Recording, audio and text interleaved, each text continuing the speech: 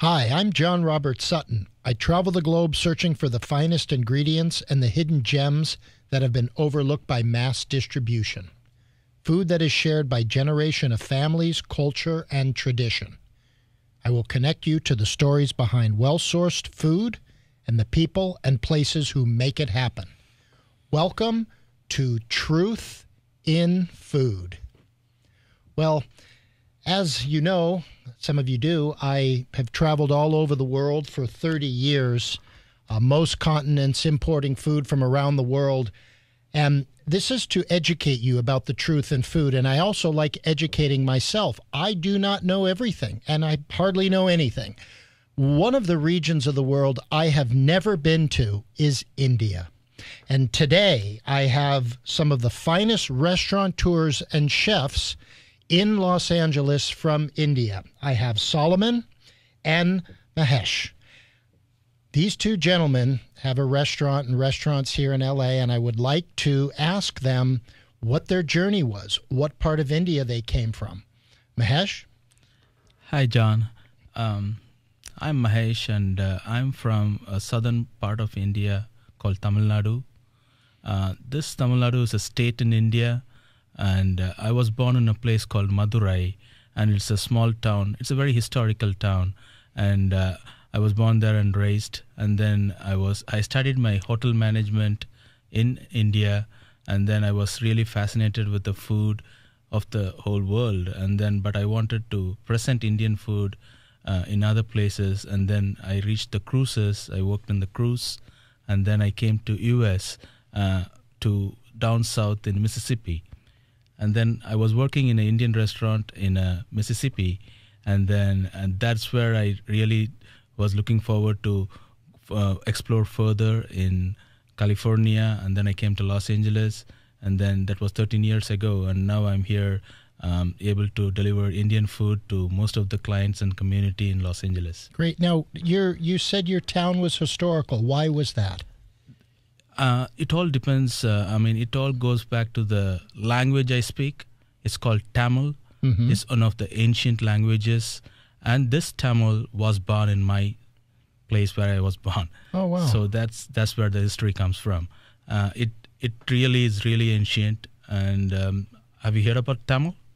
I no, I I'm familiar with some of the political things, but tell me more about the the people the, and the the indigenous Tamil. Yes, the Tamil is the language spoken by the Tamils, and it is from the state in Tamil Nadu and Sri Lanka. Mm-hmm. That's where the Tamil is being spoken mostly. Okay. And uh, it is still being um, um, in all countries, like it's widespread, I would say. That's because of the ancient Tamil kings who used the naval trade and uh, went all over the world and then explored, and then they passed this Tamil and the culture to other countries as well. Fascinating. Thank you. And uh, Solomon, talk about uh, your journey in being a chef here in Los Angeles. Hi, John. My name is Solomon. Actually, I'm also same thing is uh, from the southern part of India. Uh, I born in Tamil Nadu. Is uh, like uh, the name of the place in Kanyakumari, the tip of the India. So I just uh, like uh, I I am also the same thing. I did the, the diploma in the hotel management, mm-hmm. and after that I got the chance to work in the cruise line. So I just work in three years in cruise line, and uh, I'm I love to work in Indian cuisine, but that is a continental cuisine. So I just uh, keep on asking my friends all I want to work in US. So finally I got the chance to work in United States of America. So finally, I got uh, like uh, Indian cuisine in Woodlands, the name of the restaurant in Florida. Mm-hmm. So I got a chance to work there. So it's a vegetarian restaurant. So I love to work there. So many, I worked in many restaurants. So after that, like almost like a seven years in land. So finally, I got the chance to work in Abhiruchi Grill.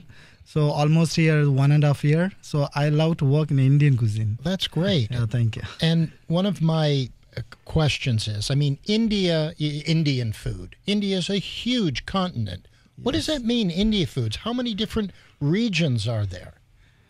Um, John, actually, India it's a very diversified country with diversified languages, regions, and each different uh, language has its own uh, region, mm-hmm. and these regions have their own cuisines. So there are like I would say a minimum of 25 to major would be like 10 cuisines in India, and uh, those cuisines are determined by uh, I would say the people, the region, the geography, and the staple food which they get in that particular place. Um, so uh, the major ones would be the the South Indian stuff that comes from the Kerala cuisine, the regional cuisine of Tamil Nadu, and then you have the Udupi cuisine, and then you have up north you have the uh, Mughal cuisine, and then you have the northeastern cuisine, plus you have the coastal cuisines. So these cuisines are all very different with each other.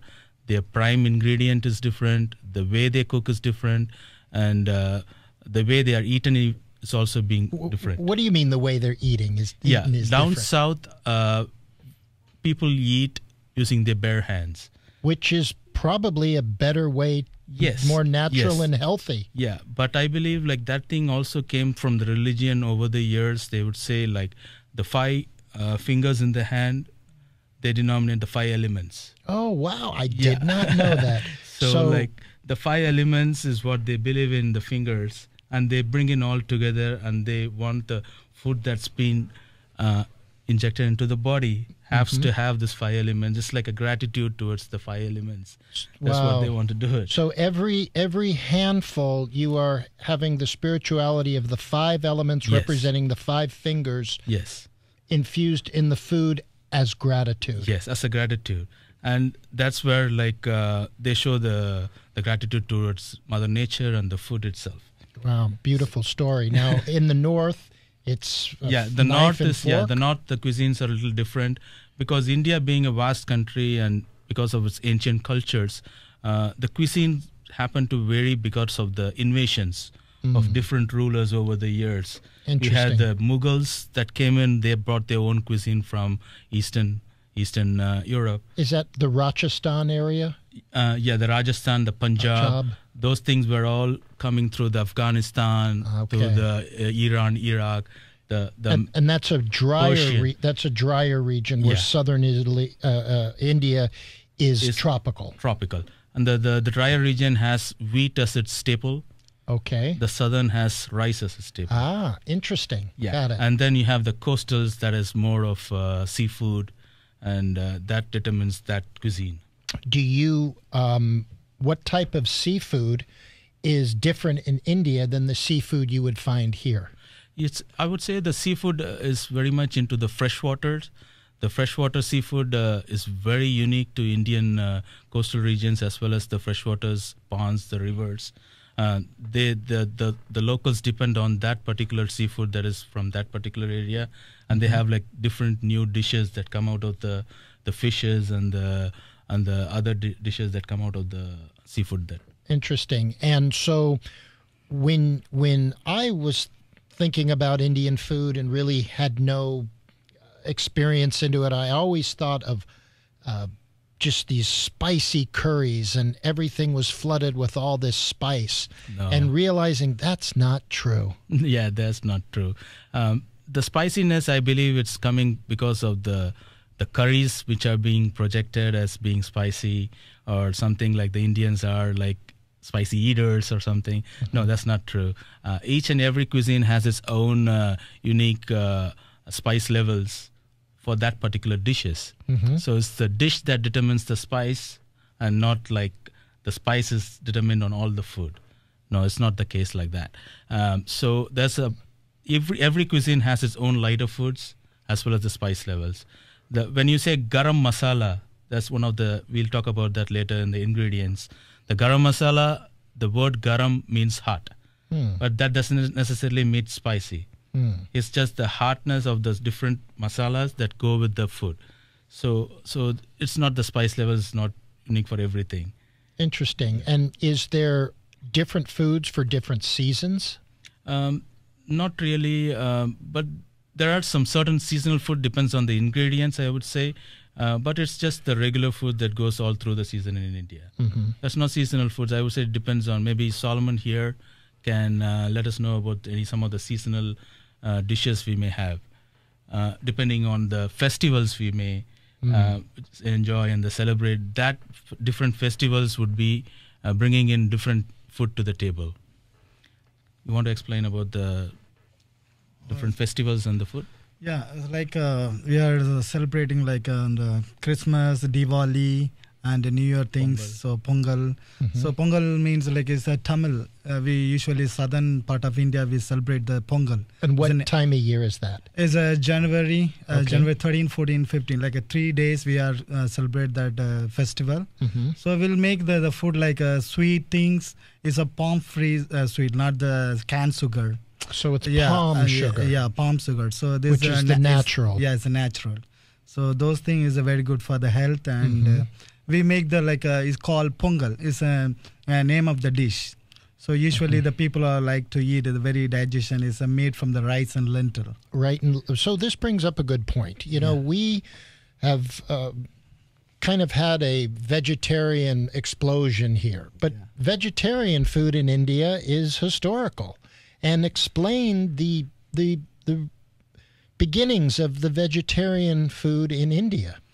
Yeah, I think the vegetarianism uh, in India has to do something with the religious uh, beliefs people had all through the years, and also that kind of like uh, also helped with the healthy nature of the food itself. Mm-hmm. Um, so the religious, when I mean the religious uh, beliefs, I would say um, uh, cutting. I mean like eating meat. A lot of religion in India they don't eat meat. Mm-hmm. So the other option would be definitely vegetarian. So the vegetarianism was uh, uh, part of their food, especially when the kids are born. They have their own uh, uh, milk was staple. So that translated into the option for mother's milk is cow's milk. Mm. But so the religion told to treat the cow as a mother. So you don't kill a mother to eat them. Mm-hmm. Yes, eat the thing. So, sure. so that was kind of like uh, the religious belief. Got it. So that's where like and also li- likewise with the other uh, animals too. And the vegetarianism is again uh, is has its uh, healthy nature in the Indians, uh, which really helped them to follow the vegetarianism. Yeah, I mean, I look around and all these new vegetarian restaurants are opening up, and they. It's like, well, wait a minute. Why wouldn't I just go to an Indian restaurant? I mean, they have the tastiest vegetarian historical with all of this Yes. love for the vegetarian food. Yes, and the vegetarianism also is also like is being determined by the south and the north uh, uh, Indian uh, cuisines.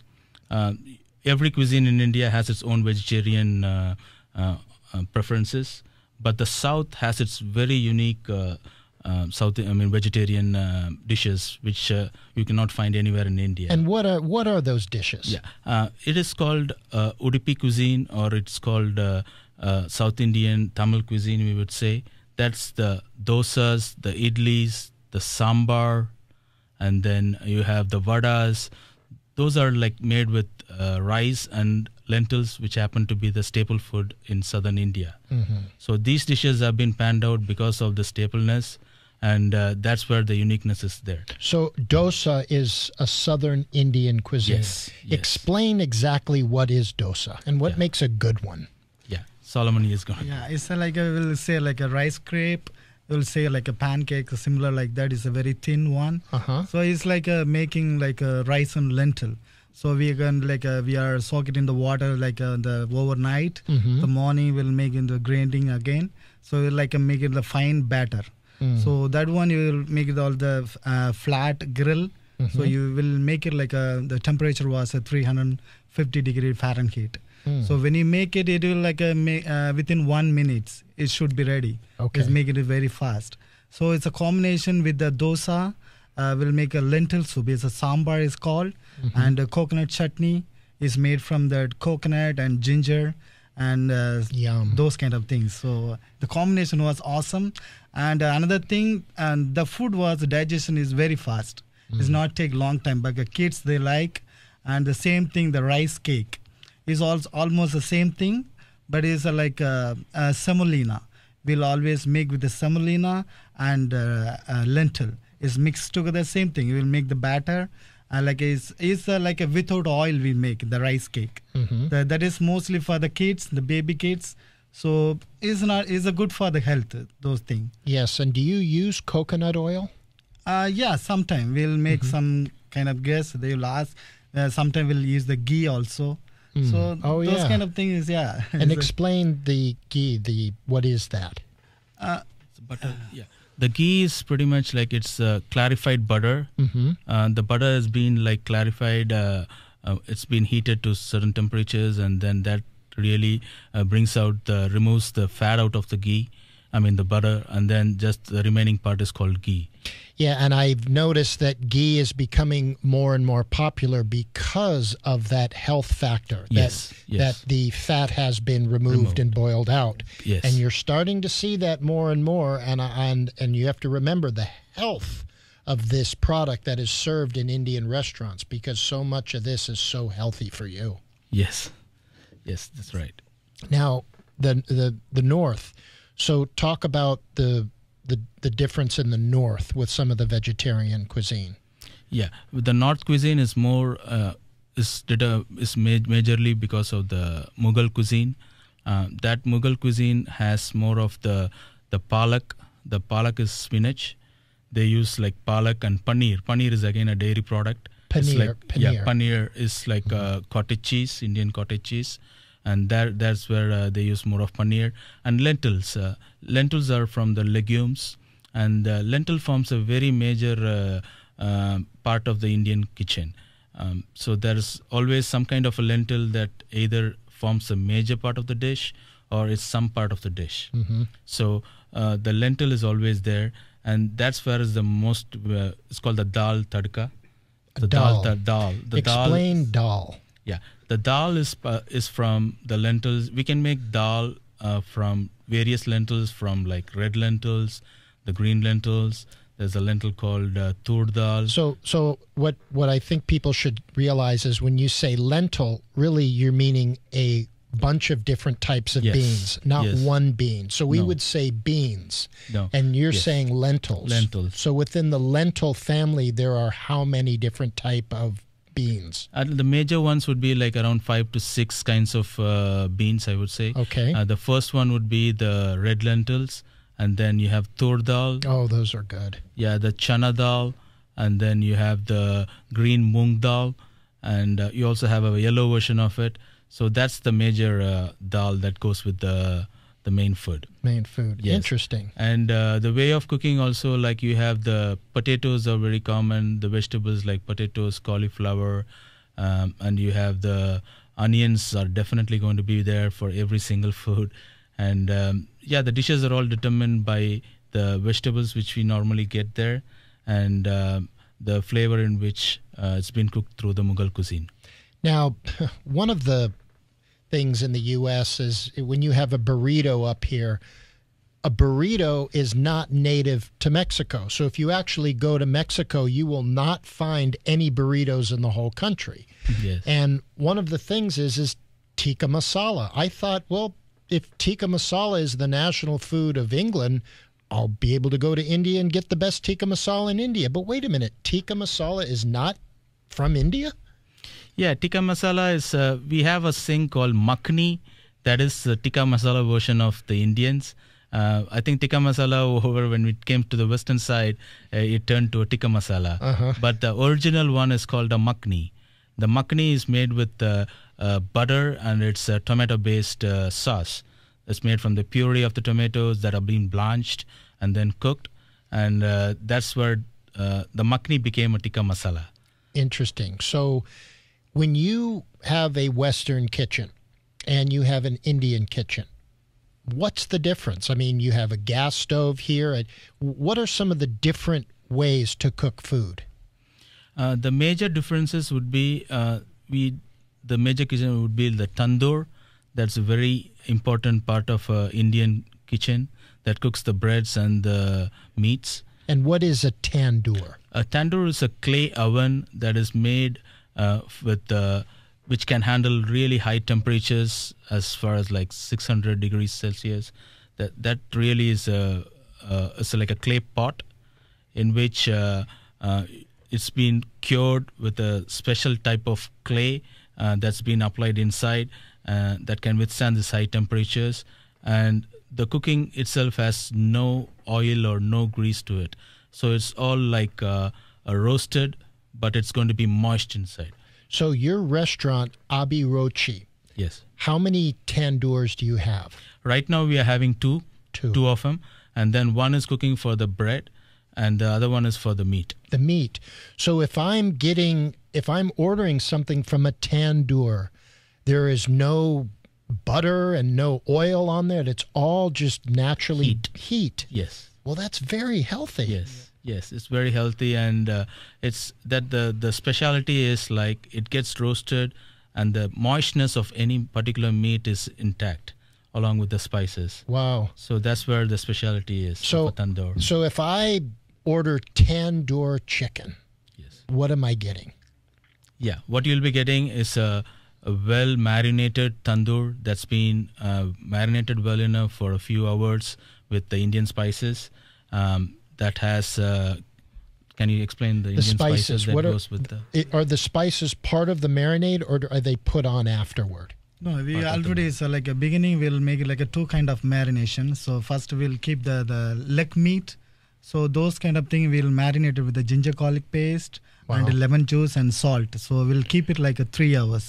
So we'll soak it because uh, why we are keeping for that one for the tender the meat become the Yes. soft. Mhm. So after that the second marination we all uh, like uh, making the uh, spices Indian spices like a chili powder Mhm. and turmeric, coriander, cumin, and garam masala.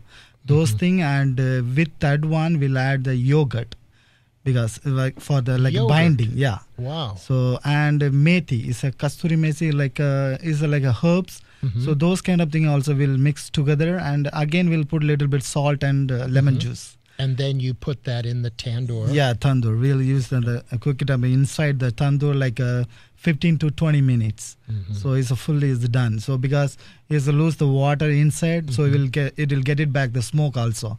So it's absorb the, the flavor, so smoking flavor also. So it is is awesome. wow. I mean, yeah, absolutely. And uh, talk a little bit more about yogurt in the foods and the cooking. What what type of yogurt are we talking about?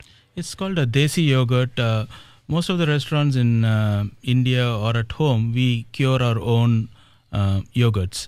Um, so, like we have a small, uh, like a basic uh, thing, like a yeast thing, fermentation, and then uh, my mom used to has have a the the milk being boiled, and then uh, allowed to cool down, and then there's this little yeast thing being added, and then that gives us that's called a desi yogurt, the original cow milk yogurt.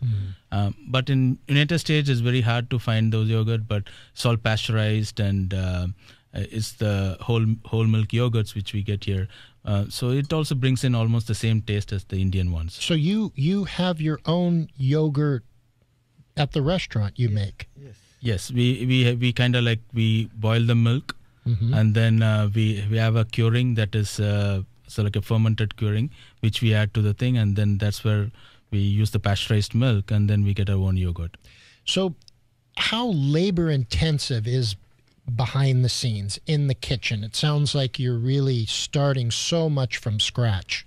Yeah, like uh, we have very experienced and very uh, uh, masterful uh, uh, chefs and then assistants which we use, and they're, they're mostly from India. And then we also have some locals that are helping us in the kitchen, and we are training them too. Um, the kitchen has been uh, manned by Solomon, and then he's the helm there, and then we have uh, three assistants to him. Uh, each have their own expertise in uh, particular uh, cuisines and then you have another three more assistants. We have like a seven to eight uh, people at any time in the kitchen. Wow. And I hear your restaurant, uh, when celebrities from Bollywood come out, that uh, you have a particular. Uh, people really from Bombay really want your food delivered anywhere they are. Is that true? Yeah, we do have our own uh, dedicated celebrities that come in. Uh, we have uh, Mr. A.R. Rahman, uh, who is an Oscar winner, uh, who likes our food. We delivered him once, and he really likes our food. And then he's planning to come to our restaurant also one time. Wow, that's that that really tells you something there. Now, I also hear when Americans come in and order spicy food, there's kind of a code that takes place, or there's something where you want to make sure they know what they're getting. What what's that about? The spice code for Americans, I would say, is uh, is more like uh, a code between the kitchen and the service staff. They're going to say like, uh, "Hey, that's an American spice level, and there's an Indian spice level." And What's uh, the difference? so the server, without saying anything, will notice a chili on a dish, a whole chili. That means it's American spice. It's strange. I would say uh, the same thing for an Indian spice. The chili is going to be crushed. So you have the the chili is being crushed, has its more spice levels to it, Got it. and Uh, while a whole chili uh, will just infuse a little bit, but it's not going to be that spicy. So that's a little code that we have. That's great. That's funny. Now, what would you cook at home when you when you are at home? What dishes do you like to eat? Yeah, the home cooking is more into uh, very light food. We don't go into too much of uh, uh, heavy food in the home, but once in a while on a festival or an occasion, we go for that heavy food. But uh, since mostly I have a kid who's six year old and we cook for everybody, so it's going to be light. We always have uh, uh, the dosas, which I was talking about, has to be some part of the day we eat that and then you have the lentils always being part of the day and then um, because of the protein nature it is high in proteins and then we try to keep it as balanced as possible uh, mostly we will be having the south indian dishes uh, uh, on our menu And what would be? Uh, we would have apple pie in America. Is there a dessert that is standard that everybody would like to eat that you serve? that's one dessert that uh, pans from kashmir to kanyakumari that is the gulab jamun And what is that? gulab jamun are like these milk milk dumplings uh, that are soaked in the sugary uh, sweet syrup. Um, those are like uh, the milk powders and the milk dumplings along with uh, the sugar that's been rolled and fried, and then they are going to be immersed in a sugary syrup. Yeah, and those are delicious. And when you are they do they variate? I mean, are there some places where someone say, "Oh, those are better than this place"? And Uh, they do have some variations. We have it. Uh, it's called like a kala jamun that has less uh, sugary uh, syrup in it, but rather it's more dry. But it is really succulent in the middle. That's another version. And then you have a lot of jamuns that have been topped with uh, dry fruits, and then you have uh, saffron in some jamuns and uh, pistachios and some jamuns. So they're all different. cool, that was so delicious. And one, what is you know biryani? What is this dish? The biryani is uh, is is been coming from the Mughal style. I would say the Mughals uh, when they invaded India, that's where they brought in the biryanis. Uh, and there's one place in India that's really really famous for biryani, and that's Hyderabad. The Hyderabad is in uh, Andhra Pradesh. Um, it's now Telangana, I believe. So uh, that's where the biryanis are really popular at. And this biryani is a rice dish um, that has its own spices, and it's like a paella. paella. Okay, got it. It's like a paella. Paella. Yeah. So it the the cooking is really unique to it because of its uh, dum nature. It's called dum, D-U-M. Uh, that's because uh, of the way of cooking we have it. It has to be uh, on a how do you call this dum style? It's it's It's like a slow cooking. yeah, it's So slow take cooking, time. but at the same time, it's been uh, uh, there's no not much direct heat involved in it. Mm-hmm. But uh, it also has its uh, it's like a pressure cooker kind of cooking, Mm-hmm. but on fire. So you have a cowboy from Wyoming that walks into your restaurant, Abhiruchi. What would you recommend for the first time to experience Indian cuisine? What would that be? Uh, I would probably give him the tandoori chicken, along with some really nice garlic naan, and uh, we'll also give him the biryani to taste. Cool. So, garlic naan. Yeah. Explain why yours is better than all the rest. It's a garlic naan is like uh, it's made from the all-purpose flour, so it's like um, it's a very good bread. It's uh, it's cooking on the inside the clay oven because no oil, n- it's n- nothing is there. Uh, So it's no butter also. If they ask butter, we after cooking we'll apply a little bit on the top. So it's uh, so delicious and it is uh, crispy also. Mm-hmm. If they feel skippy, we can make it soft all. Like uh, any any way can we can make like uh, you know the variation. So the bread always will suggestion for that the garlic naan and stuff with the potato also we have. So we can stuff inside the the bread inside.